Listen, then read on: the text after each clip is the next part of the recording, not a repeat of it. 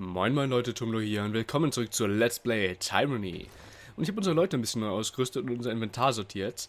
Tötet im Schatten hat eine neue Waffe, das bronzene Großschwert. Lyra hat einen neuen Bogen. Und ihren alten Bogen hat jetzt Tarion, aber der Lyra eher mit dem Bogen rumrennt, macht es glaube ich mehr Sinn, wenn sie das bessere Ding hat. Und der Rest ist für uns erstmal relativ nutzlos, bis auf den Schild, der könnte für Barik interessant sein. Den werden wir auch behalten. Der Rest wird dann erstmal verkauft werden von dem Zeugs. Aber wir haben ja noch mehr Leute, mit denen wir reden können. Deswegen sage ich mal, hallo Kenrick, hast du etwas für mich fertig? Ah, okay, wir können ja quasi einmal von allen looten wahrscheinlich. Taikon der, Schin der Schwindler, hast du etwas gefunden, das mich interessieren könnte? Ja, wir looten quasi einmal von allen Beteiligten die Sachen. Das ist gut zu wissen. Ähm, wir können aber auch diesen Turm weiter ausbauen, weil einen Trainer haben wir hier, wie gesagt, noch nicht, leider. Aber das ist schon mal interessant, dass wir hier so viele Ausrüstungsgegenstände bekommen. Hm. Ein paar Lehrer wären halt interessant. Essensrationen brauchen wir eher weniger momentan. Wir können ja auch den Turm ausbauen, das haben wir ja gelernt. Allerdings kostet das dann tatsächlich Unterhalt. Was ich aber mal schauen werde... Zwei Leute können wir hier noch anheuern. Wen hätte ich denn gern? Einhandwaffen, Parieren und Athletik ist eigentlich interessant. Hier Ausweichen, Athletik. Hm. Die gefällt mir. Einhandwaffen, Parieren und Ausweichen. Wir holen uns Tanara. Wenn wir das nächste Mal hierher reisen, erscheint sie. Und ja, ich glaube, das reicht mir erstmal. Dann würde ich tatsächlich sagen, wir rasten einmal reisen dann einmal kurz runter und kommen dann wieder her. Wobei, stopp, wir reisen erstmal right. weg. Wir wollen ja noch Leute tauschen. Dann können wir gleich unsere Gruppe trainieren. Ähm, ja, einmal in die Himmelfahrtshalle und dann wieder hoch. Die Frage ist halt, wir haben jetzt, wen wollen wir mitnehmen? Ich hätte, wie gesagt, App eigentlich gerne mal wieder dabei. Aber gerade jetzt, wo wir momentan unterwegs sind, will ich eigentlich nicht Barik mitnehmen, weil das, das führt zu nichts Gutem. Aber wir haben noch so viele interessante Gespräche. Ich hasse es immer, dass man sich auf Gruppenmitglieder beschränken muss. Ich werde mit Sicherheit irgendwann mal noch ein Playthrough machen, wo ich mich dann auf Barik fokussiere und sowas. Aber für jetzt ist es halt suboptimal. So, wieder hoch. Wir haben einen neuen Trainer da gleich. Gucken wir mal. Dann kann ich meine Gruppe einfach mal ein bisschen skillen. Ähm, wo? Da. Tanara. Aber auch hier wieder. Sie ist. Tötet im Schatten ist nicht schlechter. Aber wir bleiben erstmal bei ihr. Wir bleiben erstmal bei der Gruppe, wie sie gerade ist. Du siehst eine in Bronze gekleidete Frau, deren Ausstattung fein säuberlich gepflegt ist. Die Lederschnallen ihres Brustpanzers zeigen Spuren von frischem Öl, und die Schuppen auf ihrer Rüstung wurden ordentlich arrangiert. Sie verbeugt sich schnell, als du dich näherst. Schicksalsbinder? Ihr Gesichtsausdruck ist neutral und in ihrem Tonfall erkennst du erzwungene Höflichkeit. Ich bin bereit zu dienen, wie gewünscht. Obwohl das alte Apex nicht mehr ist, bin ich bereit, dir dabei zu helfen, seinen neuen Platz in den deinen neuen Platz in den Stufen zu finden. Solltest du Unterweisung im Kampf benötigen, werde ich dich unterstützen. Gut, ich bin erstmal neugierig. Hast du dein ganzes Leben in Apex verbracht? Ja, und ich bin stolz darauf. Es gibt keine ehrenvollere Pflicht als die, deinem Land zu dienen. Apex Herausforderungen sind zahlreich und sie werden in der Fremde kaum angesprochen. Dieses Tal wurde immer und immer wieder angegriffen. Was wäre verblieben, wenn wir in unserer Wachsamkeit nachgelassen hätten? Nicht viel vermutlich. Wie gehst du an die Ausbildung heran? Zuallererst Entschlossenheit beibringen. Wir alle brauchen einen Zweck für die Kämpfe, die vor uns liegen. Und wenn du nicht weißt, wofür du auf dem Schlachtfeld dein Blut lässt, ist es nur zu leicht, sich Angst und Schmerzen hinzugeben und hauptsächlich Disziplin. Die Vendrienwache hatte zu jeder Zeit hitzköpfige Rekruten und sie wären jetzt alle tot, wenn sie jedes Mal, wenn ihr Blut kochte, vorgestürmt wären. Nun gut, ich würde gerne üben. Und zwar... Regieren oder ausweichen, das ist die Frage. Hm... Was nutzt er denn? Das ist die Frage. Hier ist es etwas einfacher. Hier ist klar, dass sie Ausweichen verwendet. Bei Landry bringt das alles nicht so viel. Höchstens Wurfwaffen.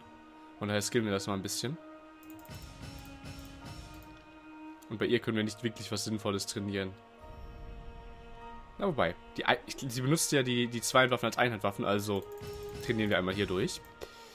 Gut, Tarion. Was verwendest du für einen Skill? Gucken wir uns mal deine Waffen an. Beziehungsweise, was haben wir hier? Wo sehe ich das? Verteidigung. Ausdauerverteidigung. Nein, das sind andere Sachen. Da. Parieren und Ausweichen. Ausweichen verteidigt gegen Fernangriffe durch Bögen, Wurfspeere oder Zauber. Parieren wäre eher Nahkampf. Gut, da ist Nahkampf tatsächlich sinnvoll, also parieren. Ich würde gerne üben. Und einmal parieren durch Spam. Dankeschön. Das ist recht zufriedenstellend. Wie gesagt, wir bleiben aber erstmal bei der Gruppe, also heißt es rasten. Ruht euch aus, werdet fitter. Und irgendwann demnächst werden wir noch mit Barik und App und allen möglichen anderen sprechen. Aber jetzt haben wir wieder zu tun. Und zwar auf zu den Rostschluchten. Mal sehen, was uns dort erwartet. Auf jeden Fall gleich erstmal wieder einen Send schreiben. Ich finde das ziemlich cool gemacht mit den Sendschreiben, dass wir parallel quasi über Briefe eine Storyline haben, so ein bisschen. Das gefällt mir. Das gefällt mir sehr gut.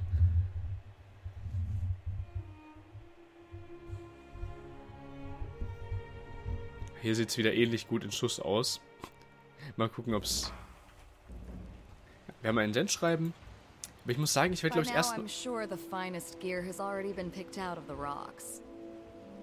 Gut möglich. Und ich sage, wir gehen erstmal hier lang. Wir machen jetzt erstmal die Quest und uh, führen Gespräche und dann kümmern wir uns ums Schreiben.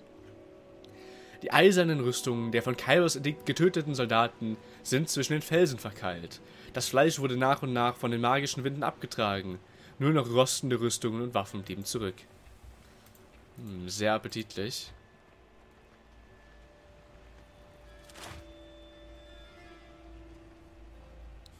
Ein ungebrochenen Soldat, dem ein Pfeil in der Schulter, ein anderer im Oberschenkel steckt, kämpft sich mühsam auf die Beine. Er versucht stehen zu bleiben, doch seine Muskeln sind zu schwach. Geht es dir gut, Soldat? Er wendet sich dir verblüfft zu und blickt dich über die staubige Weite aus zusammengekniffenen Augen an. Er scheint dich kaum erkennen zu können. Ich hatte schon bessere Tage, du Made. Aber selbst wenn ich hier sterbe, Zumindest ist heute für mich der Tag, an dem du mich nicht zur Belustigung deines Akonte in eine stinkende Bande gezwungen hast. Er spuckt aus. Bevor er fortfahren kann, hört ihr beide das Geräusch von Eisenstiefeln, die, schlepp die schleppend näher kommen.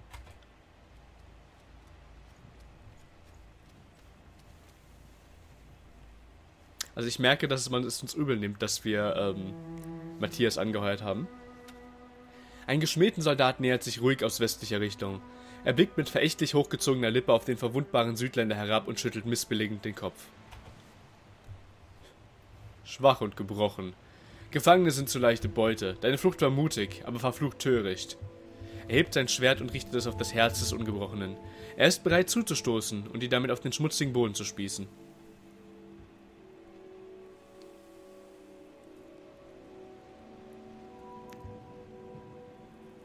Hm. So, wisst ihr was? Ich bin mir nicht sicher, was ich machen soll. Deswegen lasse ich jetzt den Zufall entscheiden. Wir lassen jetzt den Zufall über das Leben eines Mannes entscheiden. Und ich werfe eine Münze.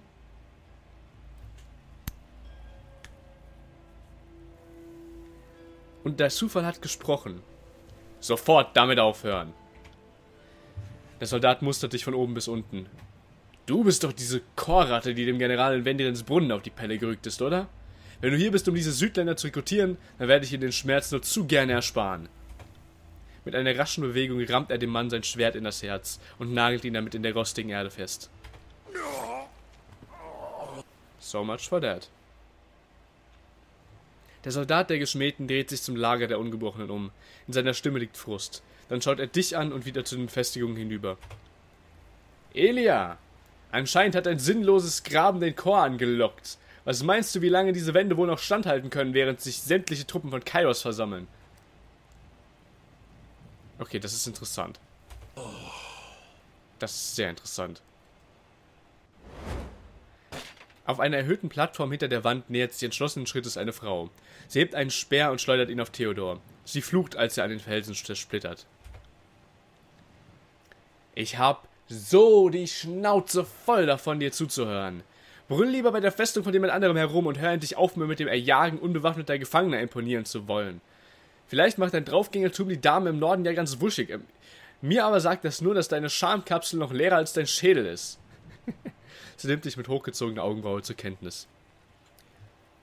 Ich glaube nicht, dass wir einander schon vorgestellt wurden. Ihre Miene verdüstert sich. Ich habe, diese Befest ich habe diese Befestigung errichtet, um Idioten fernzuhalten. Du bist kein Freund von Theodor, aber ich weiß nicht, was du für mich darstellst. Elia, jetzt ist er dein Problem. Ich komme später zurück, um mir diesen Müllhaufen zu holen, den du ein vornennst. Theodor wirft dir einen ernsten Blick zu und zieht sich dann ins Dämmerdunkel der Winde zurück. Okay. I got it. Schauen wir erstmal, was wir hier finden. Uh, noch ein schöner Bogen. Und ein schwerer bronzener Helm. Gucken wir mal, was dieser Bogen kann. Wenige SPS, aber deutlich erhöhte Reichweite. Na, ist aber generell schwächer, den wollen wir nicht nehmen. Den schweren Helm ebenfalls nicht. Wie ich sehe, haben andere versucht, diesen Ort einzunehmen. Mit schmerzhaften Resultaten. Sieht sehr danach aus. Dann looten wir mal weiter. Und ich sage, hallo Elia. Der Hauptmann der Ungebrochenen blickt von der erhöhten Plattform hinab. Sie steht mit ihrem schweren Stiefel auf einem Axtkopf, der in die hölzernen Bohlen gehauen ist. Sie ergreift den Griff, als du dich näherst. Was haben wir denn hier? Der Sturmbeschwörer, wenn ich mich nicht täusche. Elia blickt stirnrunzelnd auf dich hinab. Mit dem Edikt der Stürme hast du uns wirklich ordentlich in die Scheiße geritten. Aber du hast uns zumindest vorher gewarnt. Das verdient ein klein wenig Respekt. Matthias hat mir eine Nachricht gesandt, dass ich dich erwarten soll. Er sagt, wir sollen mit dem Chor zusammenarbeiten, um uns an den Geschmähten und dem Regenten zu rächen. Für gewöhnlich würde ich einem roten Vogel nicht trauen, aber ich kenne die Handschrift unseres Hauptmanns.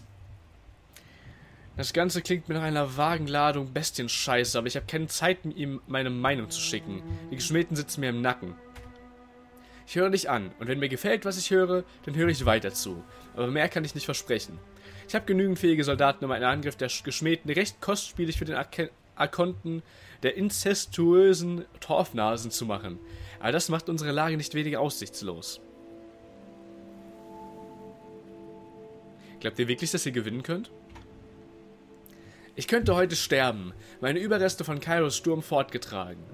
Und das unbeugsame Land bleibt vielleicht noch eine Generation lang ein Ödland, aber unser Volk wird sich erinnern. Diese Erinnerung wird einen Durst erwecken, der nur durch das Blut des Oberherrn gestillt werden kann.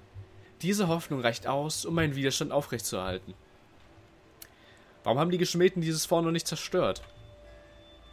Ich weiß es nicht.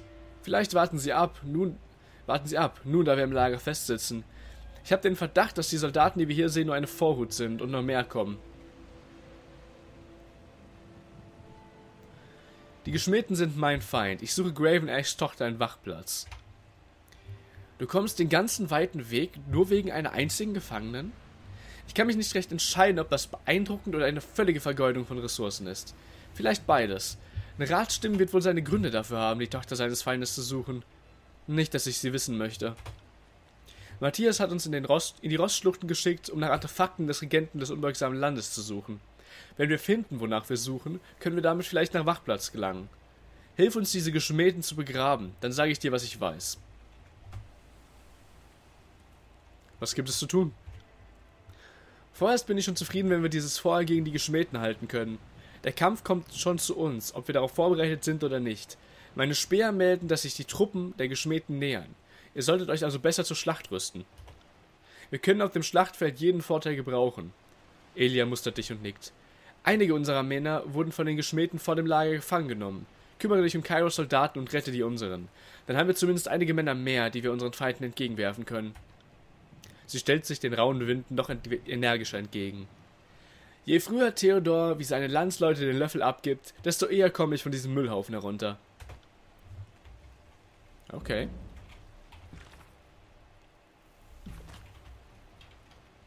Rein dürfen wir scheinbar noch nicht. Dann schauen wir uns noch mal ein bisschen um.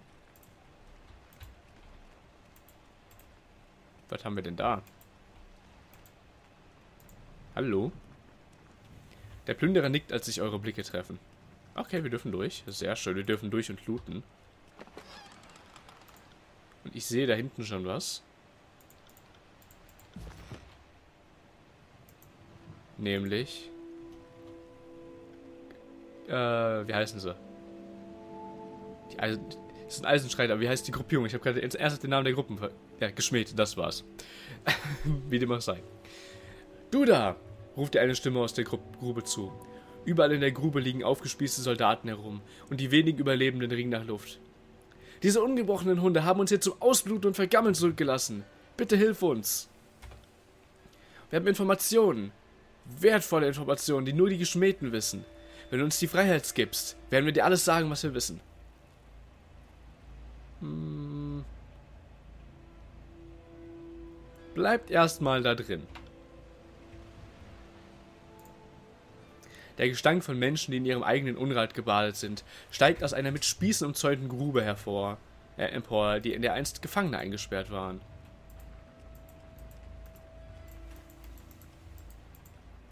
Found something. Oh. Fatebinder. There are prisoners in that pit over there. Ein zerbeulter Helm. Ah, das kann man in den Turm bringen. Sehr schön. Die wollen weiter mit mir reden. Vielleicht geht jetzt mehr. Nein. Wir können sie töten. Aber wir, wir können... Also ich, ich würde gerne... Also ich würde eigentlich sehr gerne mit denen reden und die Informationen holen, aber die Möglichkeit habe ich scheinbar gerade nicht. Wahrscheinlich müsste ich dafür erstmal mit den, äh, mit denen reden und versuchen, die zu befreien. Quasi freikaufen, so nach dem Motto. Vielleicht sind die Geschmähten auch zu einem Tausch bereit. Gefangene gegen Gefangene. Wer weiß. Wir schauen uns auf jeden Fall erstmal um. Und marschieren mal hier nach oben. Mit Elia haben wir ja schon gesprochen. Da kommen wir leider nicht dran gerade. Na gut, gehen wir erstmal hoch. Eine zerlumpte Flagge des unbeugsamen Landes weht sanft im Wind. Sie markiert die Stelle, an der ihr einstiger Besitzer durch das Edikt der Stürme starb. Und da sind sie ja. Looten wir erstmal.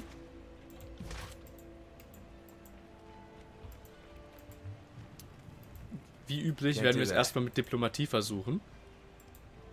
Ich sage mal Hallo. Der Leutnant hält sein Schwert in die Höhe und versucht mit zusammengekniffenen Augen durch den Tumult der starken Winde zu blicken. Wer ist da? Ach, du bist es, Schicksalsbinder. Ich wünschte, du hättest vorher nicht Zeuge dieser unfeinen Begebenheit werden müssen. Eiler und die Iren haben mir einiges an Ärger bereitet. Er runzelt die Stirn und verstärkt seinen Griff um das Schwert. Normalerweise würde ich einen Diener des Gerichtes willkommen heißen, aber er spart mich nach Verrätern Ausschau zu halten, die in unser Gebiet eindringen. Ich weiß nicht, ob du hier bist, um Artefakte zu plündern oder Soldaten für deine schäbige Bande zu rekrutieren, aber beides ist nutzlos. Diese Männer sind die besten, die ich habe, und mehr als fähig, mit Tunons Botenjungen fertig zu werden. Hm. Schauen wir mal.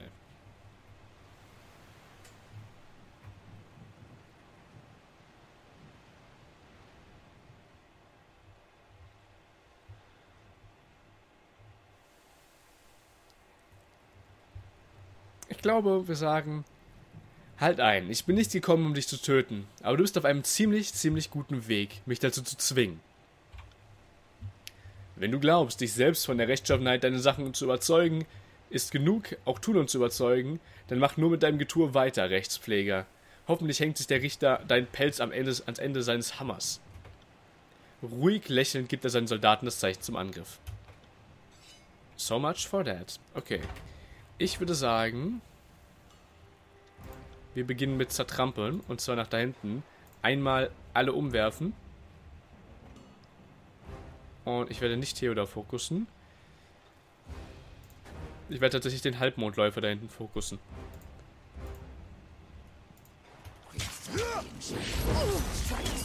So, das war ein schöner erster Angriff. Und jetzt würde ich sagen, Zeit für eine Stampede. Beziehungsweise die Stampede lieber, eigentlich lieber auf jemand anderen. Nein, stopp. Hier. Hm, so. Lyra darf sich ein bisschen mit dem kloppen, genauso wie er. What? Der Angriff wurde unterbrochen, das ist nicht gut. Das ist gar nicht gut. Sie sitzt da ganz schnell in der Falle. Und wir haben wieder vergessen, Heiltränke reinzupacken.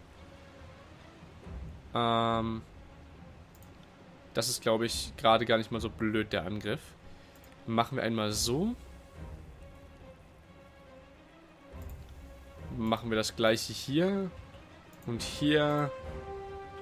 Und du darfst mal versuchen, deinen zu heilen. Weil sie sonst ein Problem hat. So.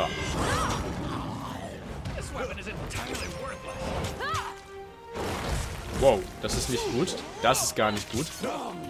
Das ist ganz und gar nicht gut. Äh, du... Moment, nein. Äh, zweiter Atem. Nein, nicht zweiter Atem. Ähm, die Tilgung des Protokolls ist, glaube ich, ganz sinnvoll an der Stelle. Und du darfst dem da mal die Rüstung zerlegen.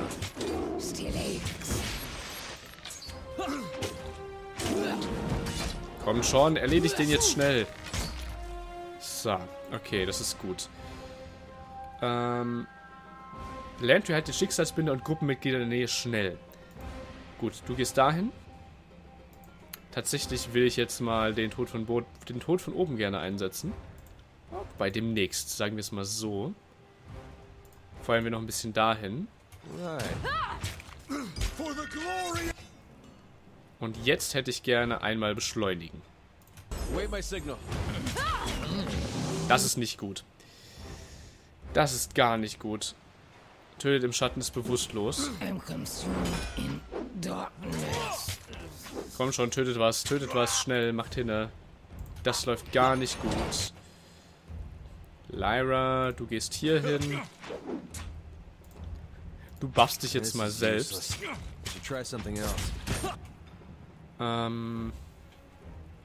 Und eigentlich wäre so ein schönes Bluttränkt Stein mal ganz sinnvoll, glaube ich. So. Selfie. Landry hat gerade echte Probleme, das ist nicht gut. Immer schön weiter draufhauen, immer schön weiter draufhauen. Landry, du kannst nochmal buffen. Nochmal beschleunigen, bitte. Dankeschön. Die kommen halt nicht durch die Rüstung durch, das ist das Problem. Komm schon, tötet den. Dankeschön. Er lebt noch, er lebt noch, er lebt noch. Ach, komm schon. Landry macht an Theodor quasi keinen Schaden. Dann sage ich, greif mal da hinten an. Aber Theodor ist am Boden, geht doch. Na, endlich. So, du gehst dahin. Du haust auf den drauf. Und damit sieht es mit dem Kampf schon deutlich besser aus. Heiltrank, jetzt. Und dann Selfie. Und damit bleibt nicht mehr viel. Ah, geht doch.